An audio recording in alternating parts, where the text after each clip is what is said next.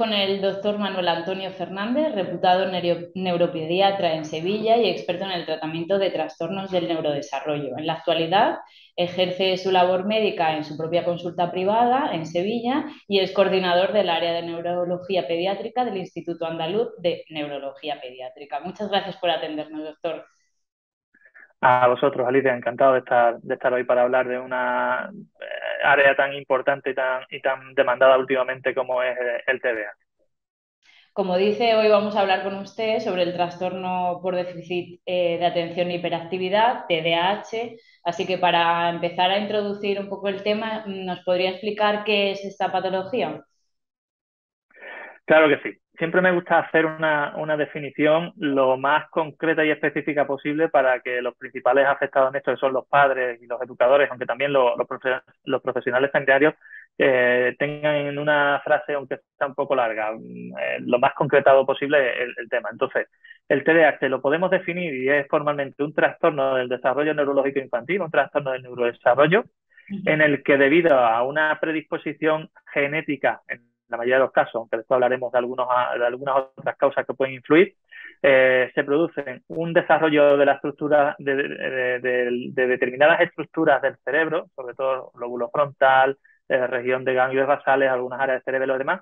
eh, alteradas que genera un mal funcionamiento de los circuitos cerebrales implicados en la regulación de los niveles de dopamina y de adrenalina, que al final son los relacionados con las funciones ejecutivas y esto evidentemente altera los procesos neuropsicológicos y por consiguiente los procesos conductuales de los niños y la conducta que los niños generan en base a los problemas de autocontrol que genera esta disfunción ejecutiva. Es decir, la alteración neuropsicológica básica en el TDAH es una disfunción ejecutiva y eso genera problemas en el control de la atención, de los movimientos, de los impulsos y de las emociones, que es el cuarto aspecto que no se suele, del que no se suele hablar, pero que es muy importante y que al final es lo que condiciona toda la sintomatología que desarrollan estos niños en, el ámbito del aprendizaje, la conducta, las relaciones sociales, el aspecto emocional y demás.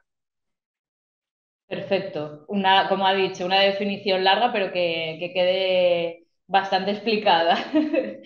Pues, eh, para continuar y ampliar un poquito el tema, eh, bueno, ya ha comentado a lo mejor algunas causas, o al menos qué es lo que provoca esto, pero no sé si nos puede ampliar eso. ¿Cuáles, cuáles son las causas de esta aparición? Mira, las causas del TDAH se dividen en dos grupos fundamentales. El 70% de ellas, es decir, la más importante, la más frecuente, son los aspectos genéticos, es decir, hay un aspecto relacionado con la herencia eh, familiar dentro de lo que son los procesos de neurodesarrollo y específicamente en el TDAH el que más, con un 70% de heredabilidad, lo que hace que si un adulto tiene un TDAH eh, aproximadamente tenga el riesgo de un 50% de desarrollo en sus hijos y viceversa, si hay un chico con TDAH, alrededor del 50% de, las ocasiones alguno de sus padres lo tiene, también hermanos y, y familiares de primera, de primera línea. Eh, pero después hay otros factores que también influyen y que cuando se asocian a los factores genéticos multiplican ese riesgo genético y que cuando no hay riesgo genético pueden ser causas individuales y específicas de TDAH, como son el consumo de alcohol o de tabaco o drogas durante el embarazo, eh, y también eh, la prematuridad y el bajo peso al nacimiento. ¿Y por qué ocurren estas cosas? Ocurren porque esa predisposición genética que decíamos afecta al desarrollo de las áreas del lóbulo frontal y otras específicamente que, en las que están los circuitos cerebrales implicados en el autocontrol. Pero es que el alcohol, el tabaco, las drogas afectan específicamente a ese lóbulo frontal también y la, prematuridad y el bajo peso, asociado además o no al tema de consumo, como hemos dicho antes, hace que eh, el lóbulo frontal cuando nacemos no esté tan desarrollado como debiera. De manera que es un, un, punto más, un riesgo más, un factor añadido a esa predisposición genética cuando la hay, y si no, puede ser, como digo, una causa suficiente como para generar un TDAH por sí mismo. O sea, prematuridad, bajo peso al nacer, falta de desarrollo madurativo adecuado del lóbulo frontal y riesgo de, desarrollo de TDAH en la, en la infancia.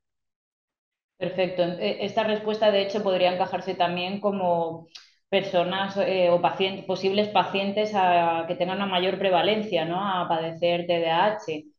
en función de... Eh, efectivamente, por ejemplo, te, pongo ejemplos muy concretos. Eh, chicos procedentes de, adopciones internacionales de países del este, donde el consumo de alcohol, por motivo social, no solo por abuso, demás, sino por el entorno sociocultural que hay, es frecuente o, abundante, eh, es muy alto el, porcentaje de, existencia de TDAH y después en los niños con prematuridad o, bajo peso al nacer, dentro de lo que es el seguimiento que se hace de esos niños de riesgo neurológico, eh, habitualmente se hace hasta los seis años o menos, pero un factor a tener en cuenta es que la mayoría de las dificultades de estos chicos comienzan cuando hay ese riesgo de TDAH en la escolarización en primaria, a veces antes, pero en esa fecha. Entonces es importante tener esa, sospecha y esa posibilidad para tener en cuenta ese seguimiento en ese periodo también. Genial, perfecto. Eh, lo comentaba también usted en la primera cuestión, cuando definía el TDAH, algunos comportamientos, algunos síntomas que puede provocar este, esta patología. No sé si nos puedes glosar un poquito más, pues eso, cómo se comporta un niño eh, con TDAH y también, bueno, mm, adultos, ¿no? Porque también es una patología que, que, puede, que se da también en adultos, porque eso es lo que padecen mm. de niños, ¿verdad? Efectivamente, no solo es de, niños o adolescentes, sino también de adultos, porque es un proceso en el que se altera el neurodesarrollo y nuestro desarrollo neurológico no acaba en los 6, 10 o 12 años, sino que, que avanza hasta la, hasta la adulta. Hay estudios que, que analizan ese proceso de desarrollo hasta los 25 o 30 años aproximadamente. Eh, de hecho, como hay una alteración en el proceso madurativo, siempre digo de broma que, que hay muchos o, somos muchos adultos inmaduros, o sea que algunos rasgos de TDAH hay por ahí en, en, la población. Los estudios dicen que alrededor de un 4,5% de los adultos tienen TDAH, o sea que, eh, que en comparación con el 7% más o menos de los niños, eh, no es la misma cifra, pero también es bastante frecuente. ¿no? Como decíamos, el tema de los síntomas deriva de problemas en el autocontrol, y eso genera dificultades diferentes en función de la edad y del entorno. Problemas en el control de la atención, de los movimientos, de los impulsos o de las emociones. Es importante tener en cuenta que se puede alterar cada uno de estos, de, estos eh, síntomas o de, estas áreas de forma específica e independiente de las otras. Es decir, puedo tener un problema de atención y ya está, un problema de hiperactividad y ya está, un problema de impulsividad y ya está, o un problema de regulación emocional. Pero también se pueden combinar varios de ellos, dos, tres o los cuatro, en diferentes proporciones. De manera que las repercusiones que vamos a tener van a ser más o menos intensas y amplias en función de cómo sea esa combinación. Pero ¿cuáles son esas repercusiones? En general son problemas relacionados con el aprendizaje y el desarrollo académico o en los adolescentes y adultos, el desarrollo laboral, el desempeño las actividades laborales, el, nivel eh, académico alcanzado, las repeticiones de curso, los suspensos, las notas alcanzadas y demás incluso los niños pequeños, problemas del inicio del aprendizaje de la lectura, la escritura, el cálculo, etcétera. También hay un problema, en, eh, eh, bueno, esto está sobre todo relacionado con la atención. Eh, cuando lo que falla sobre todo son los problemas de, de, control de impulso, es cuando se generan problemas y dificultades de conducta, de comportamiento, ya sea en el entorno académico, en el entorno social o en el entorno familiar, y eso también ocurre en los adolescentes y por supuesto en los adultos. En los adolescentes, en los niños pues, pequeños pueden generar conductas agresivas o violentas, en los adolescentes, eso, esto también, problemas de rechazo a la autoridad, eh, conductas negativistas, desafiantes y también el inicio del riesgo de consumo de sustancias, alcohol, tabaco y demás, en búsqueda de eh, nuevas sensaciones, de, de, nuevos estímulos y demás. Y en los adultos también se dan este tipo de situaciones, eh, tanto a nivel de relaciones sociales, laborales o personales, pero también en aspectos relacionados con, con, específicamente con los adultos, como puede ser la conducción de vehículos y el riesgo de accidentes o de multas, etcétera, y eh, la aparición de, de, consumo de sustancias, la aparición de eh, ludopatía o consumo o adicción al juego, y también importantes problemas relacionados con el control de la sexualidad importante eh, aumento de la frecuencia de embarazos no deseados, de conductas sexuales de riesgo, enfermedad de transmisión sexual, etcétera. O sea que son situaciones complicadas en, muchos de estos casos cuando el TDAH no se detecta en la infancia, sino que se detecta ya en la adolescencia y la edad adulta con todas esas complicaciones. Cuando hay problemas en la hiperactividad, o sea, en el control del movimiento, si hay problemas de hiperactividad, aunque todas estas áreas pueden estar afectadas, sobre todo lo que afecta es a las relaciones sociales, o sea, un niño pequeño que no para, que se mueve, al final tiene más dificultades para relacionarse y si esto se mantiene en los adolescentes o los adultos, ya queda mucho más disfuncional y mucho más disruptivo que un adolescente un adulto no pare de moverse, de hablar, de interrumpir y de, y de molestar. Eh, entre comillas, y también el tema de la regulación emocional, que son los cuadros de ansiedad, de estrés, de incluso problemas de depresión que se generan en, en, en relación a, los síntomas del TDAH por sí mismos y también por las consecuencias negativas que esto van generando a lo largo de la vida, ¿no? Pues, malos resultados escolares, problemas de las relaciones sociales, dificultades familiares, todo eso va sumando y asociado a una mala gestión emocional, las complicaciones en la adolescencia y en la adulta se pueden, se pueden multiplicar. Perfecto, uniendo ya obviamente todos estos síntomas, ¿cómo, cómo se pueden tratar? Porque igualmente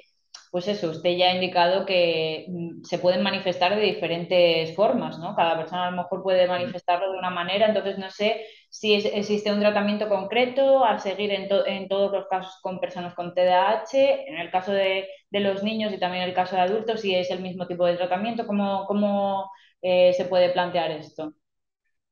Lo primero que tenemos que plantearnos es el origen, el diagnóstico para que las familias tengan y los propios adultos tengan claro que, que, tienen TDAH y por eso una de las cosas más importantes que necesitan los adultos es poder reconocer sus síntomas, los adultos y los padres, y precisamente por eso, que es lo más complejo, eh, eh, intentamos potenciar los aspectos de divulgación como esta entrevista, igual que las informaciones que tenemos en nuestra web, nuestro canal de YouTube o incluso las guías que tenemos para padres en nuestra web donde se informa de toda esta sintomatología. En general, cuando hablamos de niños, hablamos de que las causas más frecuentes a las que se o los síntomas más frecuentes a los que se asocia el TDAH son a problemas de aprendizaje y conducta. De manera que eh, cuando un niño tiene problemas de aprendizaje o de conducta, lo primero que habría que ir a valorar si existe es un TDAH. Porque piensan los padres que en muchas ocasiones hay problemas de educación, de hábito, de rutina, pero los estudios demuestran que las causas más frecuentes de este tipo de dificultades de aprendizaje y conducta son principalmente el TDAH. Eh, en lo que se refiere al tratamiento, como la causa física o biológica o neurológica del problema es el mismo, seamos niños, adolescentes o adultos y ya tengamos un síntoma de problemas de atención o de otro tipo, el tratamiento a nivel farmacológico, que es una de las opciones que tenemos, se considera equivalente o equiparable tanto para niños como para adultos. Puede cambiar la dosis, puede cambiar la pauta, pero el tipo de fármaco de tratamiento además eh, es, es, equiparable uno que a otro.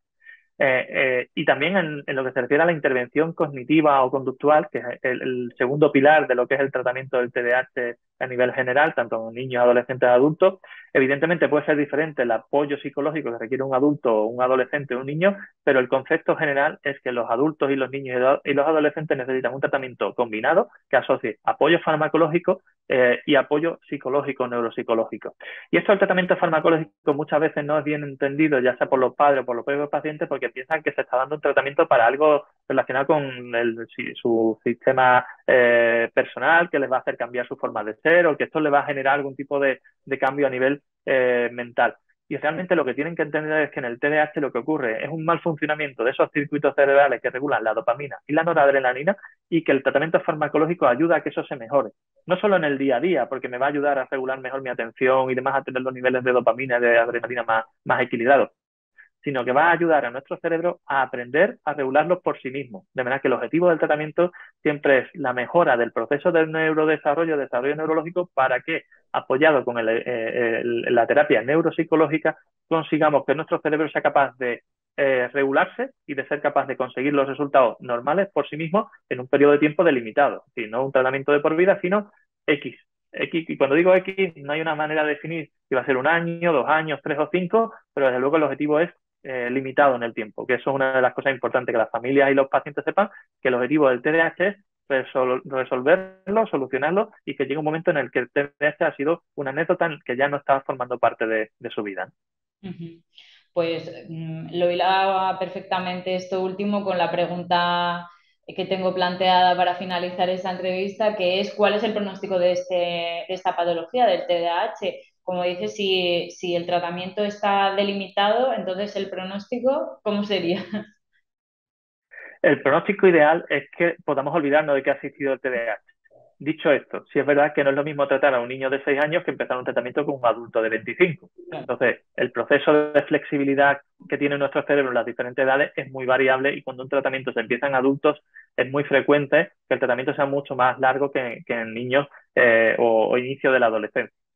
Dicho esto, y más allá de lo que es la edad puramente, también hay que tener en cuenta cuál es la intensidad de los síntomas. No es lo mismo tratar un déficit de atención leve con problemas de, de, de o de rendimiento académico que tratar un TDAH con una intensidad muy alta en el que además se asocian problemas de impulsividad o de conducta, donde la base genética evidentemente es, más intensa, es más, es más, es más amplia y también el tratamiento que va a requerir va a ser eh, más duradero porque los circuitos cerebrales que tenemos que reconfigurar son más, eh, más amplios, más, o están más alterados o son más numerosos, de manera que requiere una intervención más prolongada. Pero el objetivo siempre nos tenemos que plantear que es la normalización ah, de los síntomas a corto plazo y la resolución del problema a largo. Perfecto, doctor. Pues yo realmente no había planteado ninguna pregunta más. No sé si, si usted quiere puntualizar algún aspecto del tema del TDAH.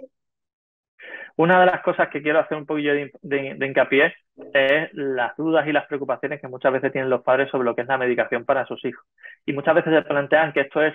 una opción alternativa cuando la intervención psicológica no funciona. Pero quiero recordarles y confirmar que el proceso generalmente es el opuesto. Necesitamos un apoyo farmacológico para que las terapias sean efectivas. De manera que lo habitual es que el tratamiento sea combinado y, que de esta forma las cosas funcionen eh, de una forma adecuada. Dicho esto, eh, deben quitarse las preocupaciones que hay sobre efectos secundarios, riesgos a corto plazo, riesgos a largo plazo, si son tratamientos muy seguros, que evidentemente tienen que estar en manos de un profesional con experiencia y que sepa manejarlo correctamente, formado y demás, pero que son fármacos que no generan riesgos físicos, mentales, ningún tipo de adicción, de dependencia, sino que tienen como finalidad de ayudar a nuestro cerebro a reconfigurarse para ser capaz de superar sus dificultades, normalizar su funcionamiento y poder dejar atrás el TDAH de una vez por todas.